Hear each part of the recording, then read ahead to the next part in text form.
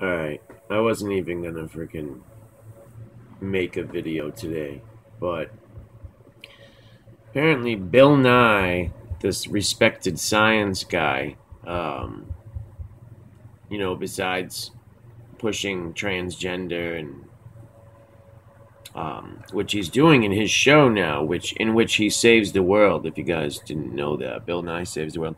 So here's like this is his show right here, right? And he just had this uh, Rachel Bloom, my sex junk. This is a you know a mainstream TV show. Like if you watch this sick ass message, look at it. Yeah, you don't know if that's a boy or a girl, you know, right? In their undies.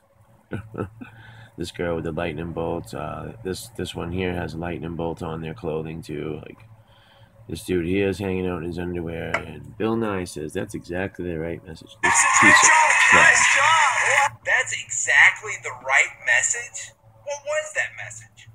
My sex junk is more than either or? Nope, it's one or the other. And if it's the one, it'll never be the other. No matter how much you want to force and legislate people to believe the lie these people Yeah. believe,